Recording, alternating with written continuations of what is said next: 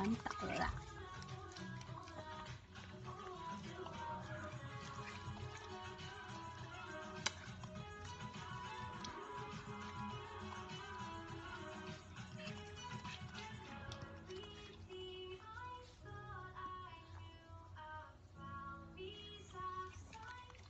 để hai đứa cánh tạo con hồng